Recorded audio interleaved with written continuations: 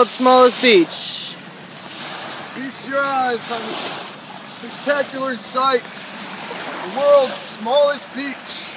Right here in St. Petersburg, Florida.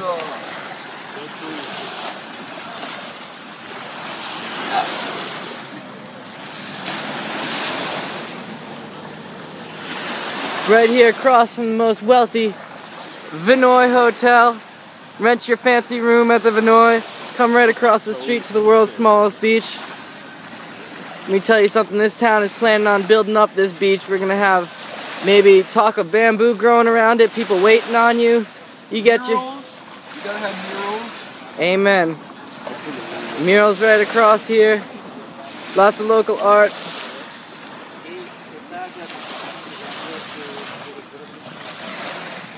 Come across the street. Throw down a towel.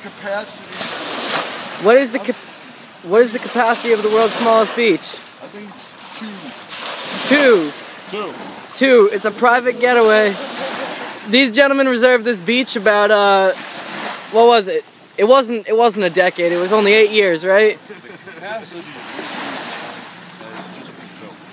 Yep. It's just been filled.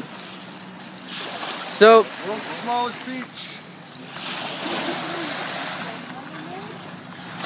This is the world's smallest beach.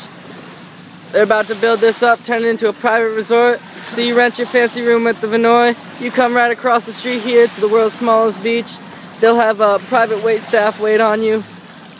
It takes me like what, two Yeah, seconds to, to, to turn. parking. Yeah, we gotta have serious parking. Um, I've heard talk of a helipad right here where Ethan's standing. Uh, Water is a little cold. That's okay, it's hot here in Florida. Ladies and gentlemen, the world's smallest beach.